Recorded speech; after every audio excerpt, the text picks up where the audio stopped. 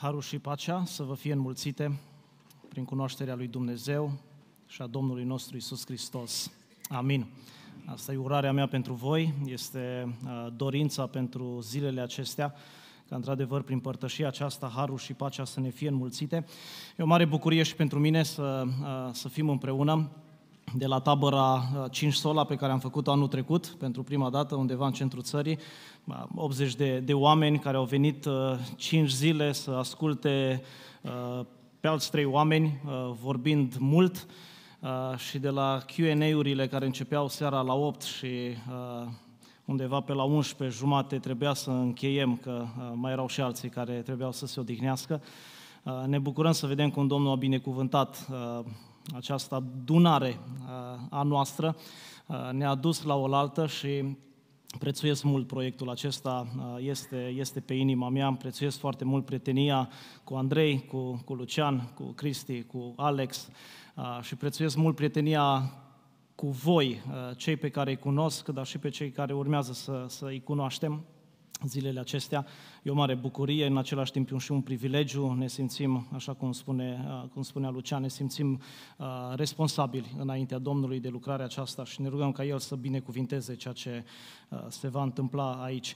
Uh, Cinci Sola este o, o, un proiect, o lucrare în sprijinul bisericii. Și uh, ne dorim în, în zilele acestea să înălțăm prin mesajele noastre Sfințenia lui Dumnezeu, astfel încât bisericile locale din care venim, sper toți, să fie ajutate prin slujirea noastră, prin pasiunea noastră, prin dorința noastră de a-L glorifica pe Dumnezeu. Și așa cum spuneam și în videoul de prezentare, cele mai multe mesaje, începând de mâine, vor fi tematice pe diferite teme care au legătură cu Sfințenia lui Dumnezeu. Dar noi credem din toată inima și toți cinci suntem convinși de lucrul acesta că predicarea expozitivă ar trebui să fie dieta, hrana regulată care să crească biserica.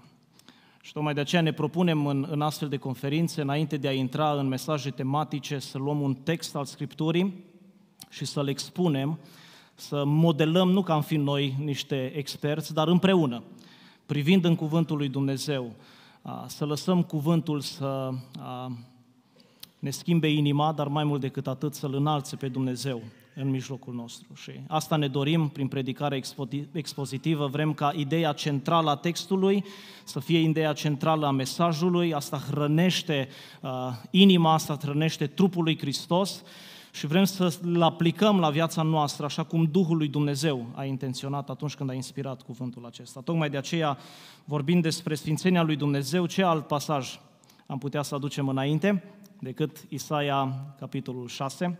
Așadar, vă invit să deschideți la Isaia, capitolul 6, voi citi primele 8 versete. Voi citi astăzi din uh, noua traducere în limba română. Prefer în studiu personal traducerea Cornilescu, mai ales acum cea, cea revizuită, dar din câte știu, Isaia încă nu a ajuns în revizuire, în lucru, sau nu a fost dat încă, probabil este gata, dar nu a fost dat publicului. Așadar, voi citi din, din NTR, pentru că este mai exact în, în anumiți termeni care sunt cheie în pasajul acesta, dar aproape tot restul mesajului, ceea ce veți auzi din Sfânta Scriptură, va fi din ediția revizuită Cornilescu. Isaia 6, începând cu versetul 1. În anul morții regelui Ozia, l-am văzut pe stăpânul, șezând pe un tron măreț și înălțat. Marginea mantiei lui uplând templu. Deasupra lui stăteau serafimi, fiecare avea șase aripi, cu două își acopereau fețele, cu două își acopereau picioarele și cu două zburau. Strigau unul către altul și ziceau, Sfânt, Sfânt, Sfânt este Domnul oștirilor, întreg pământul este plin de gloria Lui. Stâlpii ușilor și pragurile s-au cutremurat la sunetul glasului lor, iar casa s-a umplut de fum. Am strigat, vai de mine, sunt pierdut, că sunt un om cu buze necurate și trăiesc în mijlocul unui popor tot cu buze necurate, iar ochii mei l-au văzut pe împăratul, Domnul oștirilor. Atunci unul din serafimi a zburat spre mine cu un cărbune aprins în mână, pe care îl luase cu cleștele de pe altar. Mi-a atins gura cu el și a zis, iată, cărbunele acesta ți-a atins buzele. Acum nelegiuirea ta este îndepărtată și păcatul tău este ispășit. Apoi am auzit glasul stăpânului întrebând, pe cine să trimit? Cine va merge pentru noi? Eu am zis, iată-mă, trimite-mă. Până aici cuvântul lui Dumnezeu. Amin. Mulțumesc lui Cristi că s-a rugat uh, la început, dar dați-mi voie să mă rog și eu și vă invit așa cum stăm să vă alăturați mie în rugăciune. Tată Ceresc, îți mulțumim așa de mult pentru binecuvântările acestor momente de închinare și pentru privilegiul de a ne aduna împreună, public, ca să ne închinăm Ție în Duh și în adevăr. Doamne, îți mulțumim și pentru citirea cuvântului Tău, pentru onoarea de, a, de a-ți cânta laude numelui Tău și pentru a, a ne aduna la oaltă, ca să celebrăm legătura dintre noi în Hristos. Mai mult decât toate acestea, Doamne, te lăudăm pentru Domnul nostru Isus Hristos, Fiul Tău, Salvatorul nostru. Te lăudăm pentru că El este suficient pentru noi. Te lăudăm pentru sângele vărsat și pentru dreptatea sa, care a deschis o, o cale nouă înspre tine. Pentru ca la tronul tău să găsim îndurare, har, chiar acum, când ne apropiem de el. Doamne, îți mulțumesc pentru cuvântul tău. Cuvântul tău este adevărul. Îți mulțumesc pentru înțelepciunea pe care ai așezat-o în cuvântul tău și îți mulțumesc pentru autoritatea ta pe care o arăți prin cuvântul tău. Ne rugăm acum ca închinarea noastră să, să se înalțe și mai mult, pe măsură ce înțelegerea noastră a cuvântului devine mai profundă. Doamne, te rog în momentele următoare, te rog, deschide-ne ochii, deschide-ne mintea ca să vedem lucrurile minunate ale cuvântului Tău. Ajută-ne să dăm la o parte orice necurăție, ca să putem primi cu blândețe sămânța cuvântului care ne poate mântui sufletele. Ajută-ne să fim împlinitori, nu doar ascultători, ca să nu ne înșelăm singuri. Doamne, te rog în momentele următoare, dăm putere fizică, umple-mă de Duhul Tău cel Sfânt, ca să pot aduce cuvântul Tău cu credincioșie și claritate. Folosește-te de mine ca să fiu gura Ta prin cuvânt. Și, Doamne, știi că cea mai mare dorință a inimii mele este ca în momentele următoare Hristos să fie înălțat. În numele Lui și pentru slava Lui îți cerem toate acestea. Amin. Amin. Capitolul 6 din Isaia ne descrie experiența viziunii pur și simplu transformatoare pe care Isaia a avut-o înaintea lui Dumnezeu și chemarea imediată la, la slujirea profetică. Este unul dintre cele mai cunoscute pasaje din Scriptură, e unul dintre cele mai cunoscute pasaje din uh, Isaia, unul dintre cele mai iubite și pe bună dreptate, pentru că Isaia 6 conține într-un fel uh, mărturia personală a unui păcătos ce a avut o întâlnire brutală violentă cu sfințenia lui Dumnezeu. Și totuși a supraviețuit. Și totuși a rămas în viață ca să ne povestească și nouă ce s-a întâmplat acolo. Vedem cum Domnul ridică privirea lui, lui Isaia deasupra și dincolo de circunstanțele sale și uh, îi dă o perspectivă a ceea ce se întâmplă pe tronul din cer, care i-a schimbat viața lui Isaia, i-a schimbat-o instant, i-a schimbat-o complet, i-a schimbat-o permanent. Și dăm slavă Domnului că Duhul Sfânt a lăsat pe paginile Scripturii înregistrarea mărturiei lui Isaia cu privire la această viziune a lui Dumnezeu, pentru ca să înțelegem și noi astăzi, în anul 2023, cât de sfânt este Dumnezeu nostru. O, prin asta nu spun, să nu mă înțelegeți greșit, prin asta nu spun că trebuie să alergăm după experiențe uh, identice ca a lui Isaia, dar spun din toată inima și cred că trebuie să avem și noi înțelegerea, perspectiva asta măreață pe care Isaia a avut-o cu privire la Dumnezeu în urma acestei experiențe. Tozer spunea la un moment dat că cea mai urgentă nevoie a acestor vremuri este ca religioșii superficiali să fie confruntați cu o viziune a lui Dumnezeu domnind și înălțat în slavă cu poala mantiei lui, umplând templu. John Piper, în cartea sa Supremația lui Dumnezeu, în predicare, povestește la un moment dat despre un experiment uh, pastoral pe care, pe care l-a făcut, l-a încercat cu Isaia 6. Uh, spune el, cei care ați citit cartea, probabil știți uh, istoria aceasta, spune că a început anul predicând aceste versete și înălțând înaintea minții și inimii oamenilor această perspectivă a unui Dumnezeu suveran, a unui Dumnezeu sfânt. Doar că în ce a constat experimentul? În mod intenționat, în nicio predică din Isaia 6, și a avut câteva, n-a făcut nicio aplicație. Nimic, știți cum zicem noi, frate, ceva practic, nu? Atâta teorie, ceva practic. Nimic practic. Și testul era acesta. Oare va fi suficientă proclamarea plină de pasiune a Sfințeniei lui Dumnezeu pentru păstorirea poporului lui Dumnezeu? O să nu mă înțelegeți că sunt potriva aplicațiilor uh, în mesaje. Sunt necesare o predică fără aplicații, spunea Spurgeon, e o casă fără ferestre. Nu despre asta, nu, nu, nu rămâneți cu atât din exemplu ăsta, da?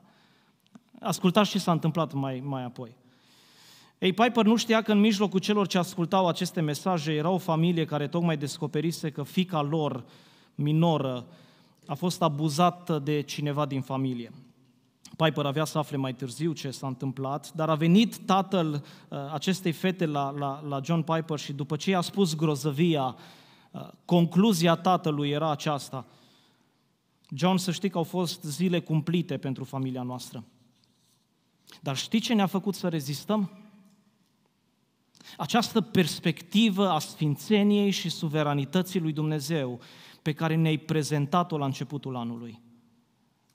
A fost stânca și adăpostul nostru. Într-adevăr, frați și surori, vreau să vă spun în seara aceasta că modul în care îl cunoști și îl vezi pe Dumnezeu e tot ceea ce contează. A, a, asta, e, asta e cel mai important lucru. Ieremia, în, în Ieremia 9 cu 23 citim așa, așa vorbește Domnul, înțeleptul să nu se laude cu înțelepciunea lui, cel tare să nu se laude cu tăria lui, iar cel bogat să nu se laude cu bogăția lui, ci cel ce se laudă să se laude că mă înțelege, că mă cunoaște și că știe că eu sunt Domnul care arăt îndurare care înfăptuiesc judecată și dreptate pe pământ, fiindcă în acestea îmi găsesc eu plăcerea, zice Domnul. Așa că, repet, dragii mei, modul în care îl cunoști, modul în care îl înțelegi pe Dumnezeu este cel mai important lucru din viața ta. Fără o înțelegere corectă a lui Dumnezeu, indiferent câte crezi că știi, indiferent câte ai, de fapt n-ai nimic și nu știi nimic. Dar când Dumnezeu este cunoscut cu adevărat în, în inima ta, în sentimentele tale, în dedicarea ta, în slujirea ta, atunci toate celelalte, până la urmă, într-un mod organic, într-un mod natural, se așează la, la locul potrivit. Tocmai de aceea trebuie din nou și din nou să vă reamintim și să ne reamintim de sfințenia lui Dumnezeu. Și asta face Isaia, capitolul 6. Sunt multe lucruri de subliniat aici, dar vă invit în momentele următoare să vă închinați împreună cu mine, privind la trei aspecte fundamentale ale măreției lui Dumnezeu, între care sfințenia lui Dumnezeu se înalță așa de frumos și le atinge pe toate celelalte. În primul rând, Primul aspect al măreției lui Dumnezeu. Dumnezeu este suveran. Și nici nu aveai cum să începi o conferință 5 sola fără adevărul acesta. nu așa? Dumnezeu este suveran. Vedeți, Biblia în mod clar și în mod repetat accentuează că noi, muritorii, nu avem cum, nu, nu putem să-L vedem pe Dumnezeu cu ochii noștri fizici. În Ioan 4 cu 24, Domnul Iisus spune, Dumnezeu este Duh. 1 Timotei 6 cu 16 spune că Dumnezeu locuiește într-o lumină de care nimeni nu se poate apropia și pe care niciun om nu l-a văzut și, și nici nu-l poate vedea.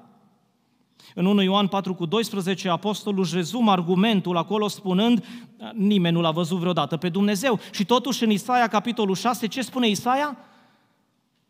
Eu l-am văzut pe Domnul.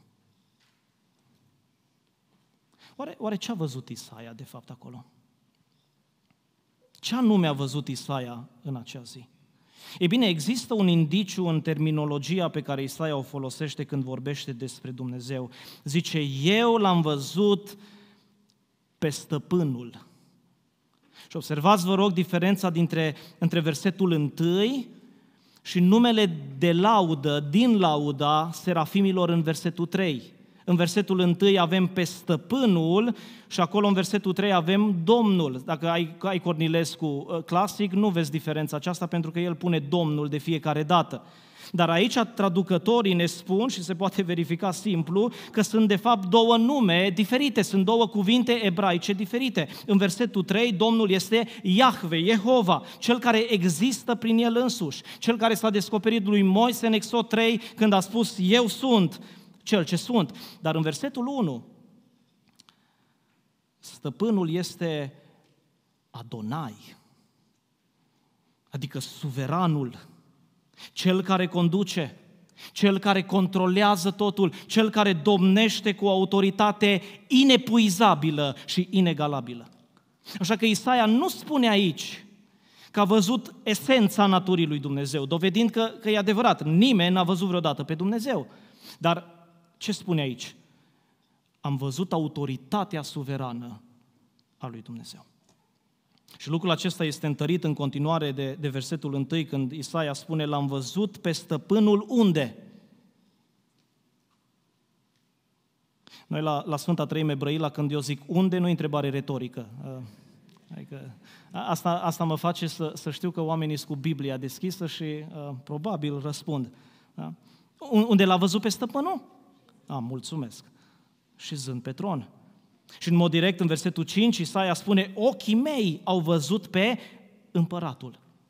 Așa că, în primul și în primul rând, aici, în viziunea lui, lui Isaia, ochii lui sunt ridicați dincolo de circumstanțe pentru a vedea măreția lui Dumnezeu manifestată, iată, în suveranitatea lui, în autoritatea lui suverană. Încă un indiciu cu privire la ce a văzut Isaia acolo. În Evanghelia după Ioan, capitolul 12, versetele 39 și 40, Ioan ne spune că respingerea lucrării Domnului Isus, foarte interesant lucrul acesta, respingerea lucrării Domnului Isus, de fapt, este o împlinire a capitolului 6 din Isaia, versetul 10. Și după ce citează din Isaia 6 cu 10 în versetul 40, Ioan 12 cu 40, în versetul 41 Ioan spune, Isaia a spus aceste lucruri pentru că a văzut slava lui și a vorbit despre el. Despre cine e vorba? Da, l-a văzut pe Dumnezeu, da, dar da, despre cine spune Ioan? Despre cine vorbește? Pe cine spune că l-a văzut acolo? Pe Hristos. Deci Ioan, iată cum un autor îl interpretează pe un alt autor al Scripturii. Ioan susține că ceea ce a văzut Isaia în capitolul 6 e o cristofanie. Este o viziune a Hristosului înainte de întrupare, înainte de nașterea sa în Betleem, înainte de viața, lucrarea, răstignirea, învierea și înălțarea la cer. Ioan ne spune că Isaia a văzut slava Domnului Isus stând pe tron, având toată autoritatea suverană. Dragilor, acesta e Domnul nostru. Acesta este Domnul Isus Hristos. El este suveran, sau ca să o spun în alte cuvinte, El este Dumnezeu. Iată un alt argument al divinității și al dumnezeirii lui Hristos. Observați, vă rog, în continuare cum viziunea lui Isaia confirmă și mai mult suveranitatea lui Dumnezeu. Acest Dumnezeu căruia ne închinăm este suveran pentru că este veșnic. Și acum nu facem nimic altceva decât să luăm cuvânt cu cuvânt pasajul acesta și să-l analizăm. Dumnezeu este suveran pentru că este veșnic. Priviți la prima parte a versetului întâi, pentru că el începe cu o referință ce ține de timp. Zice, în anul morții regelui Uzia l-am văzut pe stăpânul. Probabil știți cei mai mulți dintre, dintre dumneavoastră, Uzia sau Ozia a fost al nouălea rege al lui Iuda, s-a urcat pe tron la 16 ani, a domnit 52 de ani, istoria lui o găsești în 2 Cronici 26 și, într-adevăr, omul acesta a fost un, un rege extraordinar, a condus poporul de la prosperitate economică la succes militar, pentru că, așa cum ne spune cronicarul, Dumnezeu i-a dat izbândă. Tot în 2 Cronici 26 cu 15 ni se spune că lui Ozia i s-a dus faima până departe. E, e, e una să fii popular în țara ta, deși e destul de greu și acolo, dar auzi, lui Ozia i s-a dus faima până departe, căci a fost ajutat în chip minunat. Ce fain sună lucrul acesta? Asta e, asta e, e o slujire pe care aș, aș vrea și eu să am parte de ea din partea lui Dumnezeu. Nu zice doar că a fost ajutat, ci că a fost ajutat în chip minunat. Nu știu exact ce înseamnă lucrul ăsta, dar vreau și eu să fie ajutat în chip minunat. Și, și vezi, vezi pe, pe Ozia, l-a binecuvântat Dumnezeu cu tot felul de, de binecuvântări. În chip minunat a fost ajutat de Dumnezeu. Însă versetul se termină anunțând și terminarea succesului real al lui Ozia, spunând toate acestea până a ajuns puternic. Versetul 16 ne spune că după ce a ajuns puternic, i s-a îngânfat inima spre pierzarea lui. Și ce s-a întâmplat mai exact? Pe omul acesta a ignorat separarea divină a puterilor în stat. El, regele, s-a gândit că îi se permite să-și exercite și rolul de preot. Și a fost avertizat, i s-a spus, Ozia, nu ți este îngăduit, n-ai ce căuta aici, dar a insistat și știți ce s-a întâmplat cu el, nu? Domnul a lovit cu lepră, nu doar că e scos afară din casa lui Dumnezeu, e scos afară din țară, trăiește în izolare pentru tot restul vieții și moare ca un lepros. Dar cu toate acestea, Ozia a fost un rege extraordinar, măreț, grandios. Și Isaia ne spune că în acel an, când regele Ozia a murit, am avut o viziune. Mi s-au deschis ochii și am văzut cât se poate declar că deși tronul din Israel este gol, este liber, tronul cerului n-a rămas nici măcar o secundă vacant și neocupat. Că deși există o urzeală a tronurilor pământești, Dumnezeu este întotdeauna pe tron. A fost, este și va fi, pentru că este veșnic. În anul morții regelui Uzia, stăpânul nu făcea nimic altceva decât ceea ce a făcut din veșnicie. Stăpânul ședea pe tron. Dragilor, pe bună dreptate suntem preocupați de ceea ce se întâmplă în jurul nostru, dar nu trebuie să fim consumați, disperați când ne uităm la, la lumea în care noi trăim. Vă aduc aminte că peste 100 de ani, Putin, Zelensky, Biden, și nu le știu numele, să le pronunț numele chinezilor și a coreenilor, da, știți la, la cine mă refer, peste 100 de ani, toți președinții, prim-ministrii, regii, politicienii, liderii politici vor fi ieșit de pe scena istoriei și când se va întâmpla lucrul acesta, Dumnezeu șade pe tron. Dumnezeu va fi acolo unde a fost întotdeauna, domnind peste ceruri și peste pământ. Ascultați-l pe Moise cum se roagă în Psalmul 90, Stăpâne, tu ai fost adălpostul nostru generații la rând, înainte ca să se fi născut munții, înainte ca să se fi plăzmuit pământul și lumea din veșnicie până în veșnicie, Tu ești Dumnezeu. Tu ești Dumnezeu. Dumnezeu este suveran și asta se vede în veșnicia Lui. Dar nu doar atât, El este și transcendent. Nu este doar veșnic, este transcendent. A doua parte a versetului întâi. Vezi, Isaia nu neagă că există regi pământești ce stau pe tron, dar vrea să ne spună clar că niciun tron nu se află pe același nivel cu tronul lui Dumnezeu. În anul morții regelui Uzia l-am văzut pe stăpânul șezând pe un tron și cum era, vă rog, tronul acesta? Înalt și măreț. Înălțat în slavă și plin de glorie. Aici vedem transcendența lui Dumnezeu.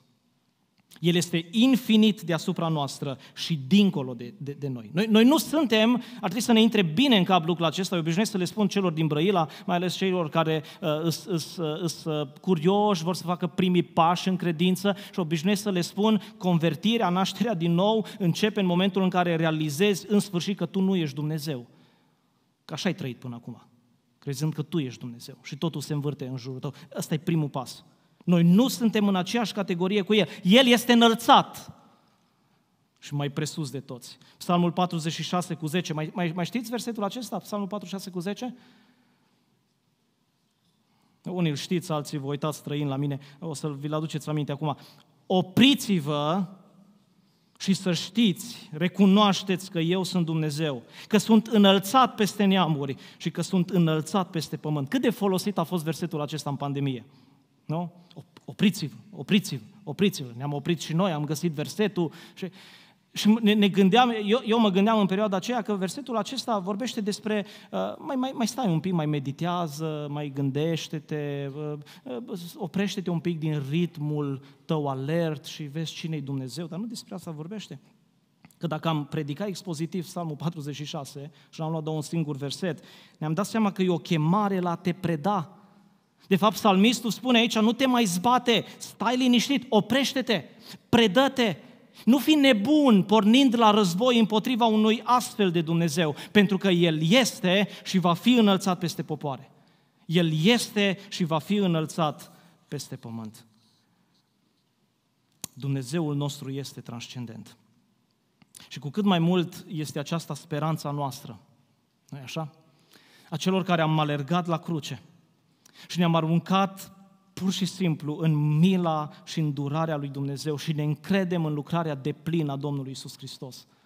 În Filipeni 2 cu 9, Pavel declară, de aceea și Dumnezeu l-a înălțat nespus de mult și a dăruit numele care este mai presus de orice nume, pentru ca în numele lui Isus să se plece orice genunchi din ceruri, de pe pământ și de sub pământ și orice limbă să mărturisească spre slava lui Dumnezeu Tatăl că Isus Hristos este Domnul. Isus este Domnul.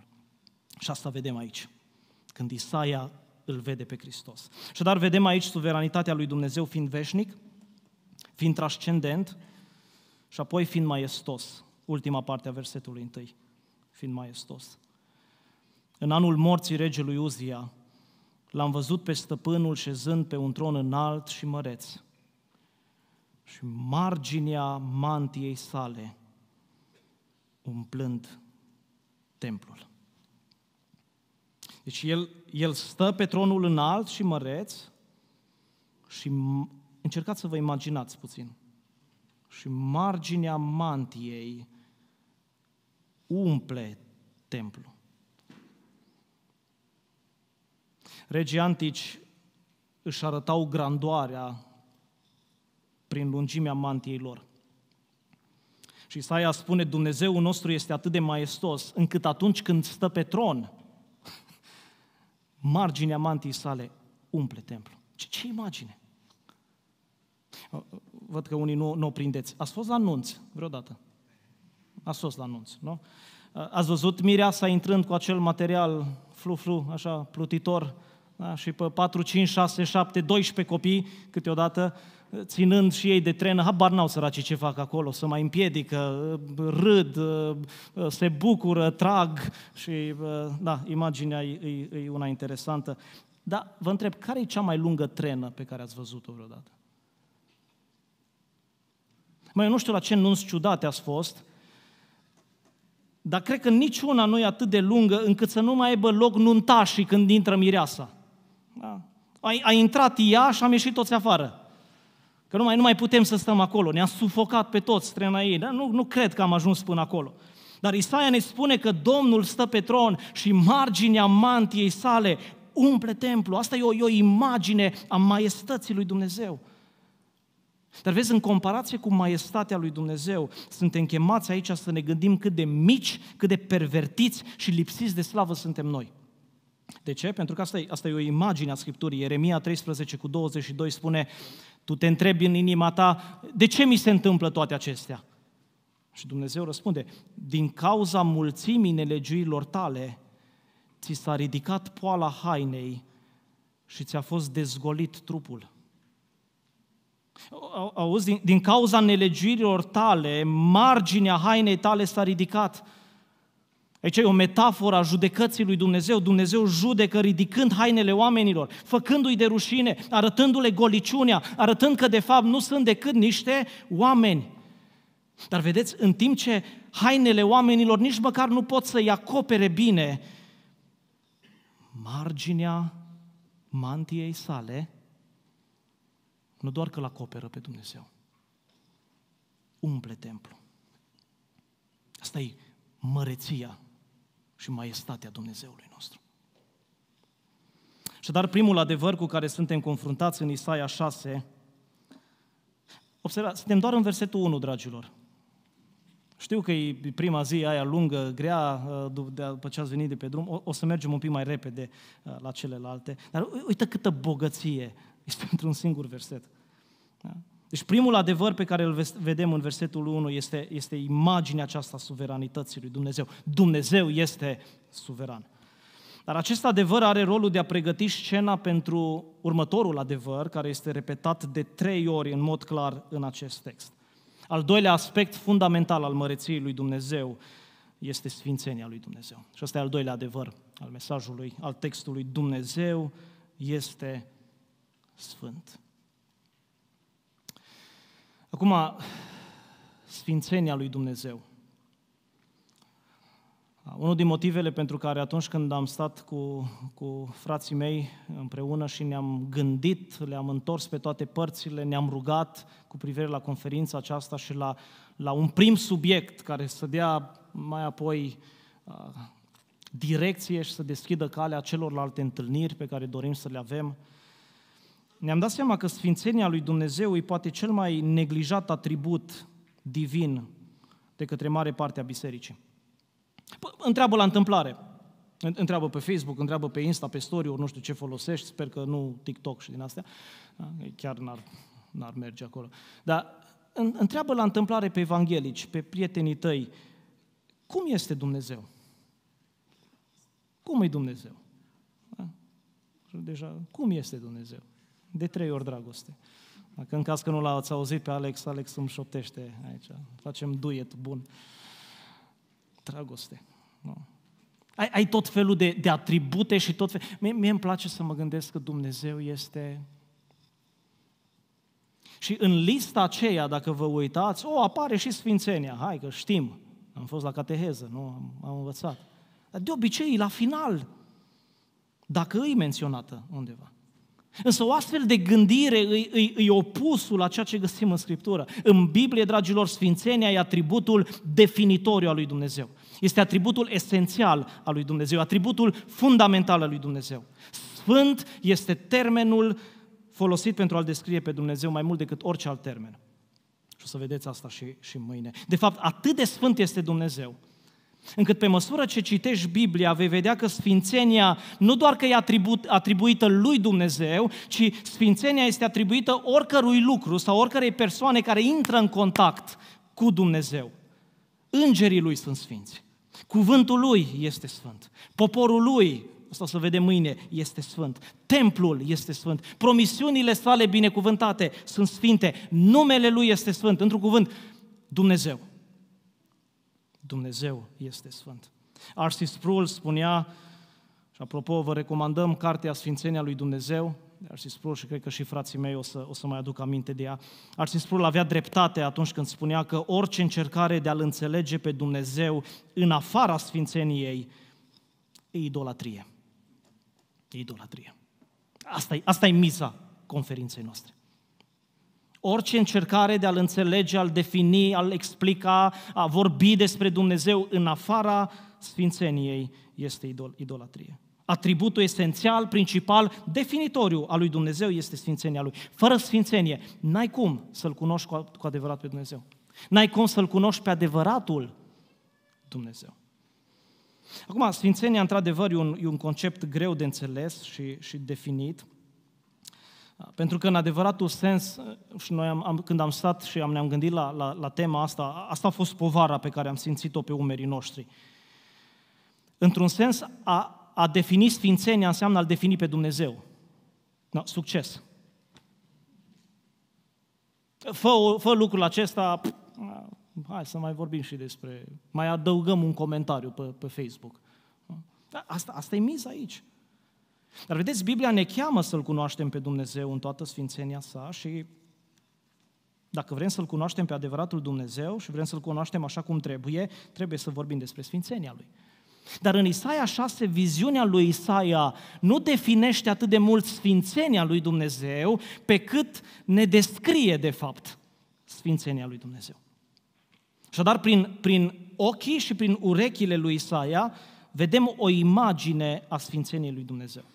Și ceea ce vă rog să, să observați în continuare din versetul 2 este că sfințenia lui Dumnezeu ne este arătată în două moduri, este subliniată în două feluri, ne arătată prin poziția serafimilor și este declarată de lauda serafimilor. Haideți să luăm pe, pe rând. În primul rând, prima dată vedem că e arătată în poziția serafimilor, versetul 2.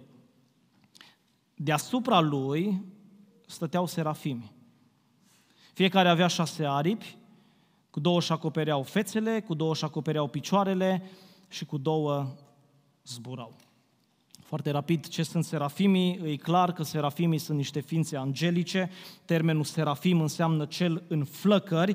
Uh, dacă vreți, în Vechiul Testament mai este folosit termenul acesta atunci când se vorbește despre șerpii înfocați. Aduceți aminte, șerpii aprinși. Dar aici, cu siguranță, se referă la un ordin al ființelor angelice. Vedem că serafimii, pentru curioși, uh, au câteva caracteristici comune cu noi, oamenii, au, au față, da? au, au picioare. Versetul 6 ne arată că aveau și mâini, deci într-un fel par a fi ca noi, dar pe de altă parte sunt total diferiți de noi, chiar și numele lor arată asta, nu? Cei înflăcărați, cei în flăcări. Când Isaia se uită și vede suveranitatea lui Dumnezeu, vede zburând deasupra tronului ceva ca niște oameni în flăcări. Și unicitatea lor se conturează și prin faptul că au aripi. Șase mai exact. Și ni, se spune care e rolul lor. Copereche ni se spune că zburau și îndeplineau sarcinile primite, dar aici le foloseau să zboare în jurul tronului. Unde erau serafimii? Ok, mă bucur că sunteți cu mine erau deasupra lui. Oare ce înseamnă lucrul acesta, că erau deasupra lui? Înseamnă că sunt mai mari decât Dumnezeu? Despre asta vorbește? Nu, cu siguranță, nu ni se sugerează că ar fi superior lui Dumnezeu, mai degrabă ni se indică aici rolul serafimilor. Ei, ei, ei zboară deasupra tronului lui Dumnezeu păzind ca nimic păcătos, de aia sunt flăcări, pe nimic păcătos să nu se apropie de Dumnezeu. Într-un fel, dacă doriți, serafimii sunt, sunt gardienii, agenții secreți ai lui Dumnezeu, păzind tocmai prezența lui Dumnezeu de intruși păcătoși. Asta e cu două aripi. Dar ce făceau cu celelalte patru aripi? Încă două perechi. Păi zice aici că se acopereau cu ele. Dar de ce trebuiau să se acopere cu ele? Dumnezeu e atât de sfânt. Dumnezeu e atât de separat de creația sa atât de excelent, de perfect, frumos și moral. Dumnezeu este atât de diferit în sfințenia Lui, încât îngerii nu puteau să se uite direct la El, ci trebuiau să-și acopere fața. De ce trebuiau să-și acopere picioarele? Posibil un indiciu îl găsim în Exod, capitolul 3. Țineți minte unde Moise merge prin pustiu, își păstorește turma și la un moment dat vede un tufiș care îi atrage atenția. Nimic neobișnuit într-o pustie, într-un deșert, să vezi un, un, un uh, tufiș în flăcări, doar că ăsta avea ceva deosebit. Nu se mai mistuia, nu se mai termina. Și atunci se apropie de tufiș și în Exod 3 cu 5 spune că o voce i-a vorbit din tufiș și a spus nu te apropia, dă jos sandalele, că locul pe care stai este un pământ sfânt. Gândiți cu mine, dacă un pământ pustiu, bun de nimic, este totuși sfânt în prezența lui Dumnezeu, cu cât mai mult este tronul înălțat și măreța lui Dumnezeu. De aceea serafimii cu două aripi și acopereau fața și cu celelalte două și acopereau picioarele. Dragilor, înțelegeți ce, ce, ne, ce ne arată Isaia aici? Toată imaginea asta cu aripile nu evidențiază pe serafimi. Nu-i scoate în evidență pe serafimi. Textul ăsta nu, nu e un text care să-ți mai uh, stâmpere puțin din curiozitatea ta cu privire la îngeri și tot felul de, de ființe, să stai să le studiezi, să-i faci pe, pe hârtie, uh, știu cazuri. Nu, asta e rolul lor. Ci ei se ascund tocmai ca să iasă în evidență cine? Dumnezeul cel Sfânt. Aceste fețe și picioare acoperite arată sfințenia infinită a lui Dumnezeu. În versetul 5, uh, Cristi anticipa reacția lui Isaia la sfințenia lui Dumnezeu, care spune, vai de mine. Și când citim textul acesta și ajungem la ceea ce spune Isaia, vai de mine, toți ar trebui să spunem amin. Pentru că ăsta e răspunsul potrivit când păcătosul intră, stă în prezența Dumnezeului Sfânt. Dar, urmăriți-mă, înțelegem la un păcătos ca Isaia că zice, vai de mine, însă serafimii n-au comis vreun păcat. Ei de ce se tem? De ce se acoperă? Iată cât de sfânt este Dumnezeu. Iată cât de sfânt este Dumnezeu. Chiar și sfinții îngeri, când stau în prezența lui Dumnezeu, trebuie să se acopere, pentru că Dumnezeu nu-i separat doar de păcat, ci El este atât de sfânt, încât este în altă categorie față de orice ființă creată. Nimeni nu este ca El. Nimeni nu este ca Domnul nostru. Așadar, dacă am văzut Sfințenia lui Dumnezeu prin poziția serafimilor, acum o vom auzi, pentru că este declarată de lauda serafimilor, versetul 3. Declarată de lauda serafimilor. Versetul 3 ne spune că strigau unul către altul. A stat vreodată să, să citiți textul ăsta, să închideți ochii, să deschideți urechile și să vă imaginați sistemul surround care e în jurul tronului? Adică unul e aici, și unul e aici, și unul e aici, și unul e aici, și mai zburau și strigau unul altul. Sfânt, Sfânt, Sfânt este Domnul. Ce se auzea din partea cealaltă? Sfânt, Sfânt, Sfânt este Domnul. Ce se auzea din partea asta? Sfânt, Sfânt, Sfânt este Domnul. Asta, asta e muzica, atmosfera în care tronul lui Dumnezeu, descris atât de minunat în Apocalipsa 4 și 5, stă și unde Dumnezeu domnește. Sfânt, sfânt, sfânt este Domnul oștirilor. Întreg pământul este plin de slava Lui. De ce de trei ori sfânt este Domnul oștirilor? Știți, repetiția e pentru subliniere, nu? Pentru accentuare.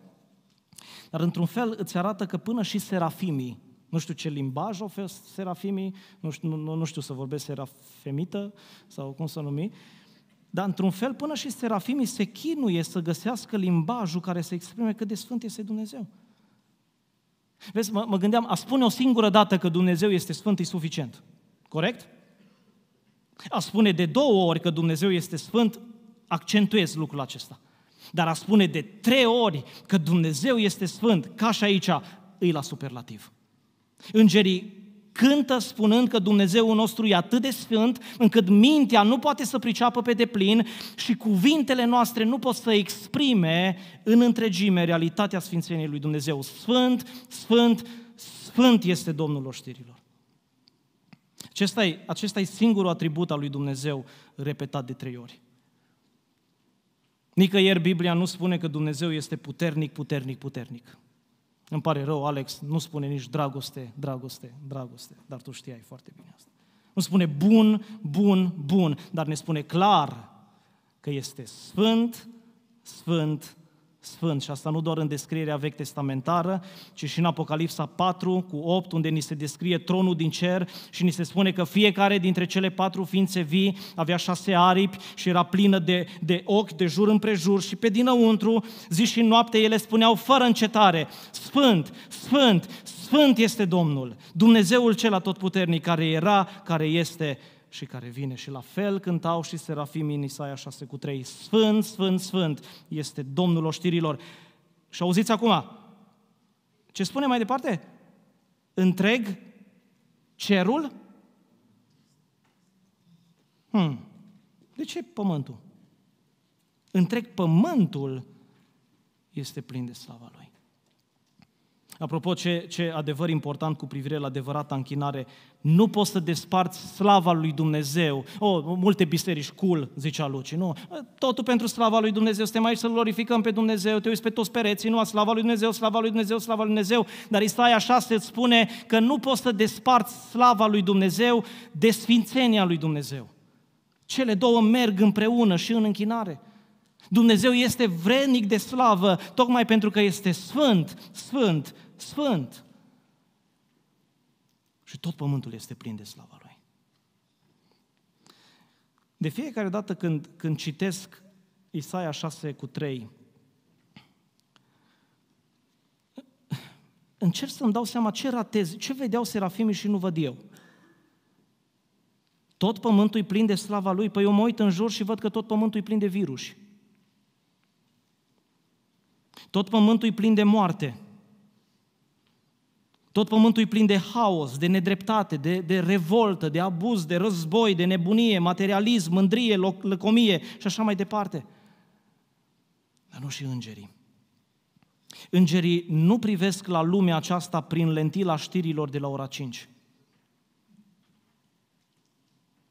Ei nu se uită la lumea aceasta prin ceea ce spun ziarele, ci ei interpretează realitatea prin lentila sfințeniei suverane a lui Dumnezeu. Iar pentru că acest Dumnezeu suveran este infinit de sfânt, chiar și în mijlocul suferinței, chiar și în mijlocul păcatului și a nebuniei lumii, ei pot să cânte și pot să spune, spună că tot pământul este plin de slava Lui, pentru că El este la conducere. Și El va avea ultimul cuvânt. Exod 15 cu 11 spune că Dumnezeu este glorios în sfințenie. Dragilor, acesta e Dumnezeu nostru. Acesta e Dumnezeu nostru. Dumnezeu este suveran, ne spune Isaia. Dumnezeu este sfânt, ne spun serafimii. Și în al treilea rând vedem că Dumnezeu este plin de har. Asta e ultimul element care contribuie la imaginea măreției lui Dumnezeu în Isaia 6. Dumnezeu este plin de har. În urmă cu mai bine de 60 de ani a avut loc o conferință în Anglia cu tema religii comparate și una din, din uh, sesiuni avea subiectul acesta, de ce creștinismul unic? Cu ce se diferențiază creștinismul de, de celelalte religii? Și au fost multe dezbateri, s-a vorbit despre întrupare, bineînțeles, s-a vorbit despre înviere, despre alte idei și parcă după o oră și jumătate, era trei ore sesiunea, lumea nu ajungea nici cum la o concluzie care să-i satisfacă pe toți. Erau tot felul de frământări. E bine, la conferința aceea, la sesiunea aceea, era un întârziat, care nu obișnuia să întârzie, dar de data aceea a întârziat. Numele lui este C.S. Lewis. Și C.S. Lewis întârzie la, la conferință, ajunge la, la jumătatea ei, o oră și jumătate, nici nu știa despre ce-i vorba. Nu știu ce a fost cu el în ziua aia. Se duce în față, el povestește, întreabă pe moderator, care e subiectul? De, despre ce se vorbește? Și moderatorul spune, de ce e creștinismul unic? Și el ridică mâna, zice, mă scuzați, pot, pot să spun și eu ceva? De ce e creștinismul unic? E simplu. Ce deosebește creștinismul de toate celelalte religii? Un singur cuvânt am. Har. Har. Harul Dumnezeului creștinilor. Și adevărat, dragilor. Harul este ceea ce face ca Evanghelia să fie o veste bună. Vezi, orice altă religie, și vă știți așa de bine, ne arată într-un fel sau altul cum să ajungă omul la acest Dumnezeu culmea, sfânt, de neatins, suveran. Dar mesajul creștin începe declarând depravarea noastră, începe declarând nevoia noastră, inabilitatea noastră înainte acestui Dumnezeu suveran, dar apoi declară că noi niciodată n-am fi ajuns la Dumnezeu dacă Dumnezeu nu ar fi Emanuel. Dumnezeu este printre noi păcătoși. Dar care Dumnezeu? Păi cel pe care l-am descris până acum. Dumnezeu pe care Isaia l-a văzut este printre noi, prin Hristos. Și ai nașterea din ficioară, jertfa ispășitoare, învierea biruitoare și înălțarea glorioasă a Domnului Isus. De unde au izvorât toate acestea? Prin har. Și din har au venit. Dumnezeu s-a coborât la noi. Efeseni 2 cu 1 spune că suntem morți în păcate. Versetul 2 spune că suntem robi ai păcatului. Versetul 3 spune că suntem condamnați în păcat. Dar știți cum începe versetul 4? E unul din cuvintele mele preferate din Scriptură. Dar. Voi erați așa, așa, așa, așa. Dar aici vine harul. Dar Dumnezeu, care e bogat în îndurare, datorită dragostei lui Marcu care ne-a iubit, ne-a dus la viață împreună cu Hristos, cu toate că eram morți în păcatele noastre, prin har ați fost mântuiți. Și apoi dezvoltă în versetele 8 și 9 că și prin har ați fost mântuiți prin credință și aceasta nu vine de la voi, ci este darul lui Dumnezeu, nu prin fapte, ca să nu se laude nimeni în mântuire, ci doar datorită harului. Dumnezeu primește toată slava. Și aici avem o imagine frumoasă a mărețului har, când viziunea lui Isaia se focalizează acum pe mobila cerească. Ați văzut că la început viziunea s-a concentrat, s-a focalizat pe tron, dar acum de pe tron, privirea lui Isaia vine aici pe un altar. Și, dragilor, slavă Domnului pentru ambele. Dacă altarul nu era acolo, aceasta ar fi fost istoria tragică a judecății, a condamnării și a mâniei. Dar slavă Domnului că nu a fost doar un tron, ci a fost și un altar. Nu doar judecată, ci și milă. Nu doar sfințenie, ci sfințenie împletită cu har. Cu har. Unde vedem asta în textul nostru? Păi ne-au rămas câteva versete. Vedem harul lui Dumnezeu prima dată dovedit în pocăința lui Isaia, versetele 4 și 5. Harul lui Dumnezeu dovedit în pocăința lui Isaia. Zice că ușorii și pragurile s-au cutremurat de glasul lor și casa s-a umplut de, de, de fum. Vă, vă imaginați înspre ce arată scena asta? Ce, ce ar trebui să, citești, să simți când citești scena asta? Vă spun că dacă am citit versetul acesta celor care au trecut prin cutremur în Turcia, n-ar sta așa de relaxați cum stăm noi. Pentru că asta se întâmplă acolo. Da? Serafimii declară sfințenia lui Dumnezeu și parcă are loc un cutremur. Casa se umple de fum, e întunecat, e brutal. Și Isaia e capturat aici, îi, îi căzut, dacă vreți, sub sfințenia lui Dumnezeu, sub prezența lui Dumnezeu. Și care sunt cuvintele lui?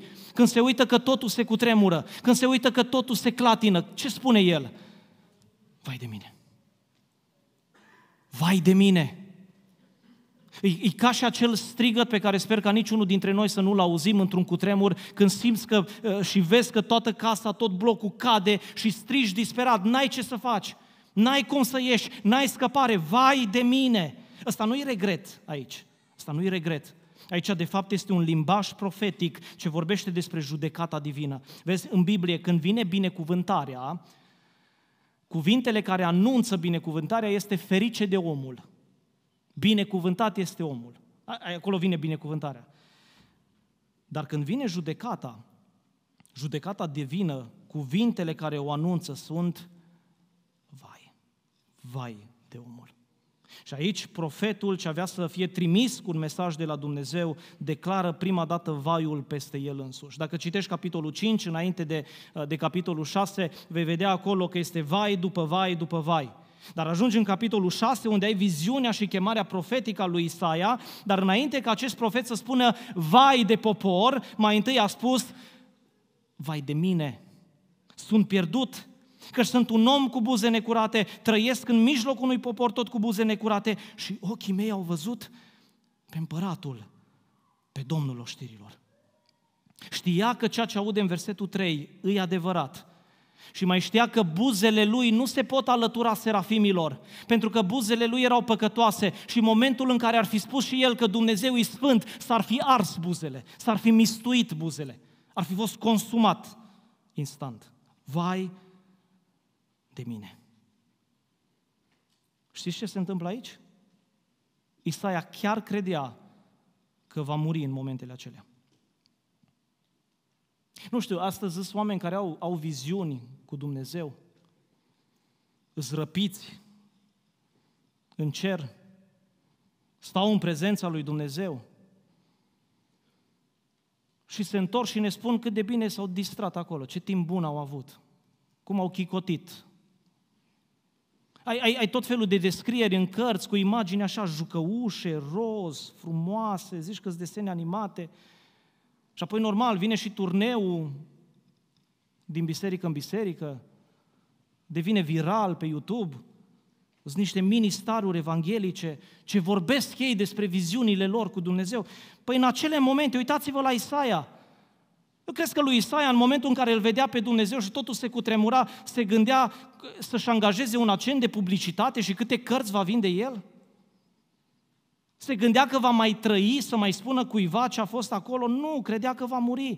Și asta a fost experiența tuturor care au experimentat, s-au întâlnit cu Dumnezeu în Scriptură.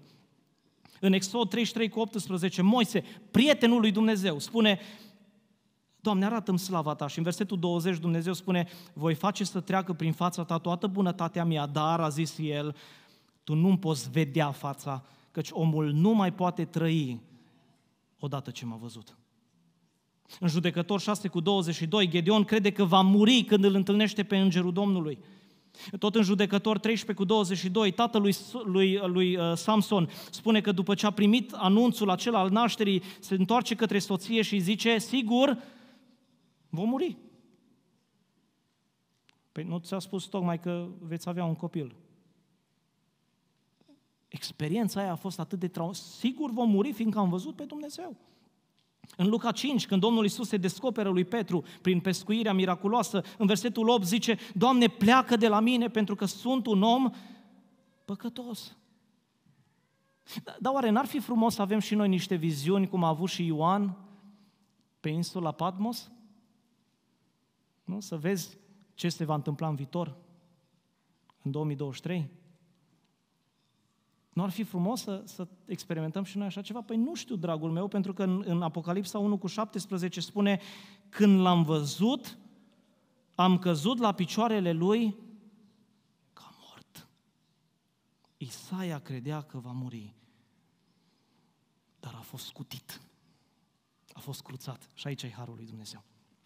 Când vede suveranitatea și sfințenia lui Dumnezeu, concluzia logică a lui Isaia îi, nu merit să trăiesc, este drept să mor, este drept să fiu condamnat, dar harul îi cruță viața în prezența sfințeniei lui Dumnezeu. Și nu doar că e o cruță, în al doilea rând, e o curăță. Și asta vedem, harul lui Dumnezeu îl vedem și manifestat în curățirea lui, Ios, lui Isaia. E dovedit în pocăința lui Isaia, versetele 6 și 7, e manifestat în curățirea lui Isaia. Atunci unul, fiți atenți la imaginea aceasta, e, e extraordinară. Atunci unul dintre serafimi a zburat spre mine cu un cărbune aprins în mână pe care luase cu cleștele de pe altar. Mi-a atins gura cu el și a zis, iată, cărbunele acesta ți-a atins buzele. Acum vina ta este dată la o parte și păcatul tău este ispășit.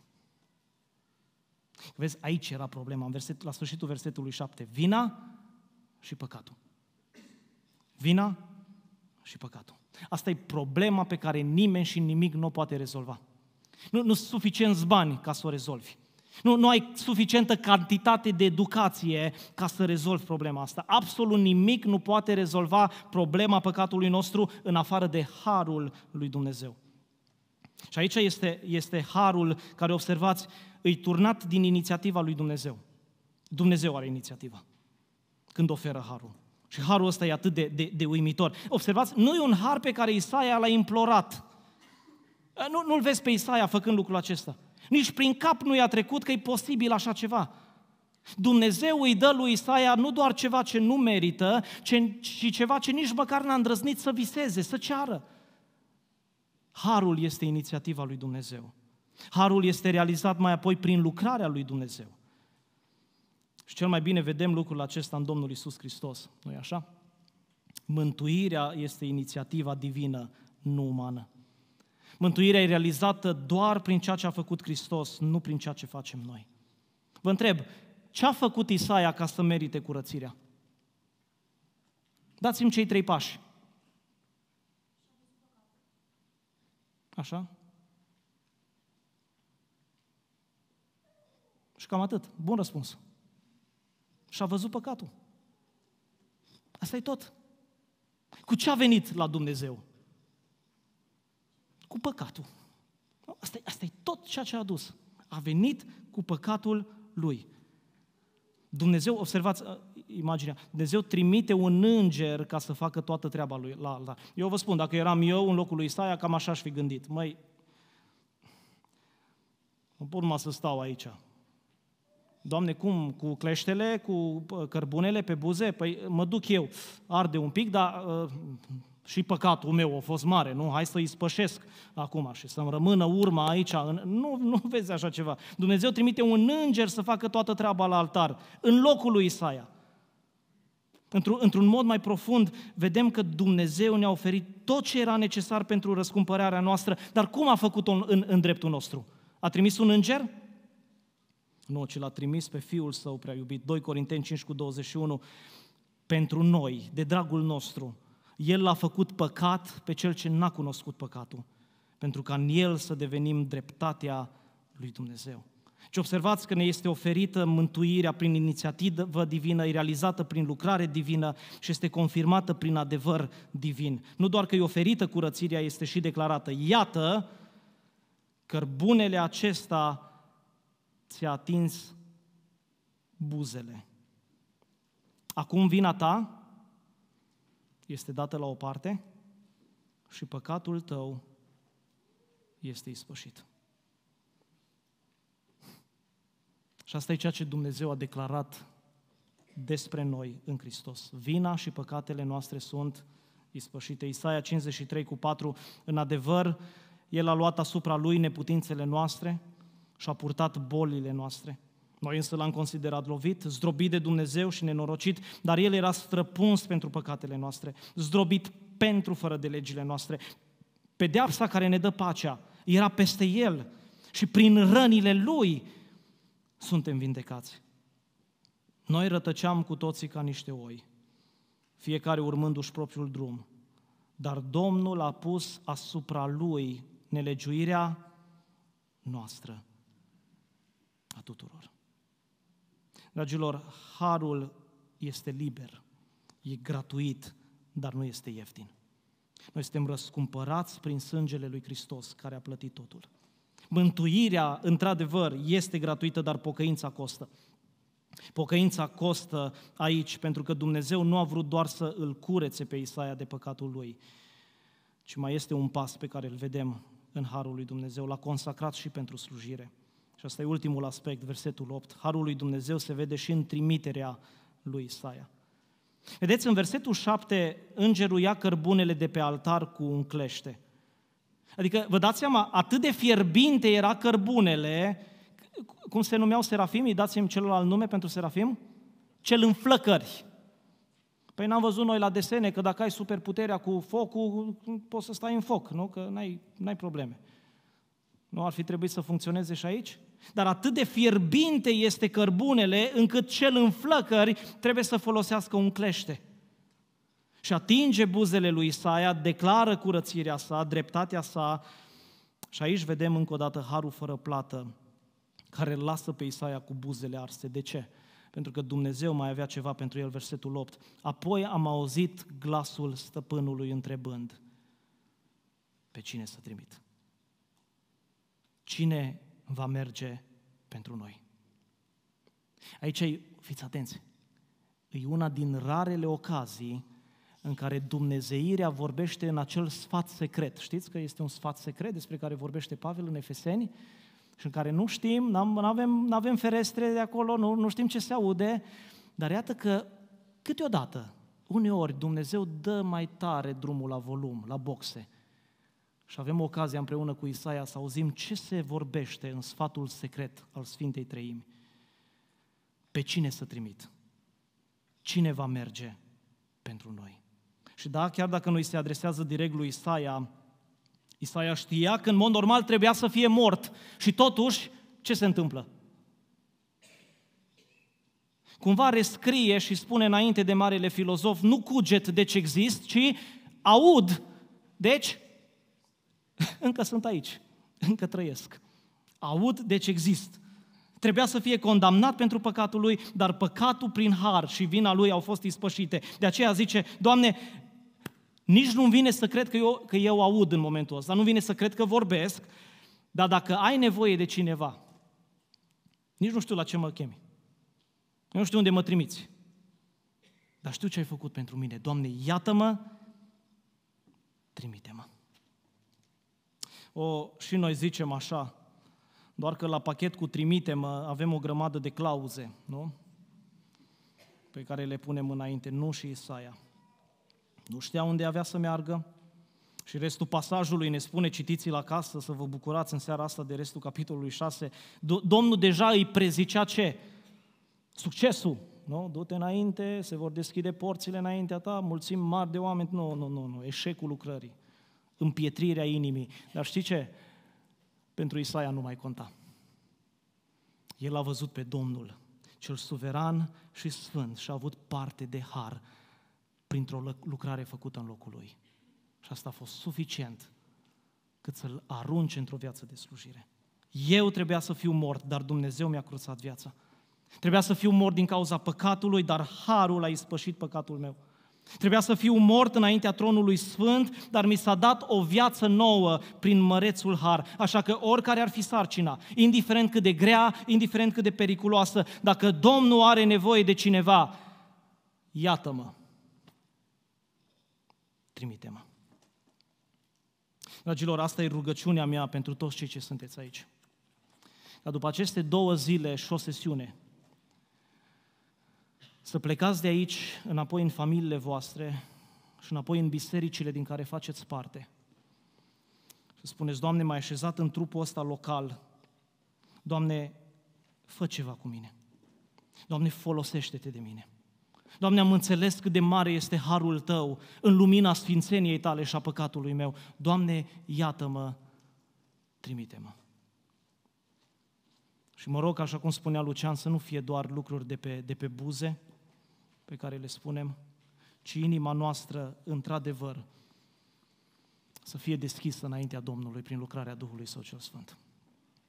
Așa că mă rog, dragilor, în această seară, ca aceasta să fie dorința inimii noastre înaintea unui Dumnezeu care este suveran, sfânt și plin de har. Amin.